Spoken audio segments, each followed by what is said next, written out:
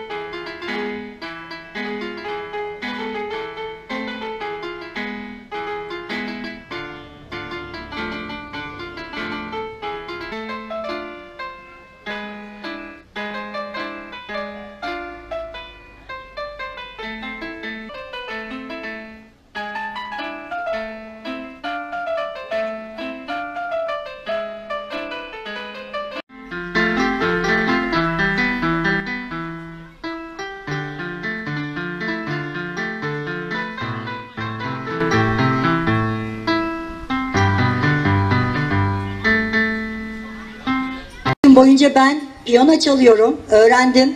Yaşlılarımızı da gördüm, yaşlılarımızı ziyaret ettim. Onların yardıma ihtiyacı var. Eğer isterseniz ben piyano çalmak istiyorum. Yanına da bir kutu koyalım, bağış kutusu. Ben çaldıktan sonra kazandıklarımı yaşlılarımıza da bağışlamak istiyorum dedi. Biz seve seve kabul ettik, çok da duygulandık. Birçok büyüğümüzün aklına gelmeyen e, güzel bir şeydi bu.